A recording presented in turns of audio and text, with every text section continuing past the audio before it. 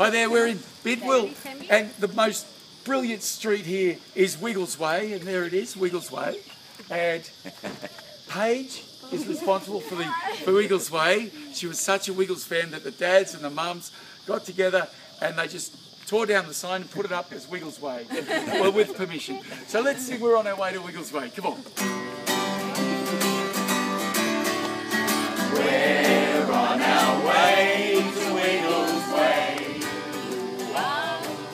thanks to Paige.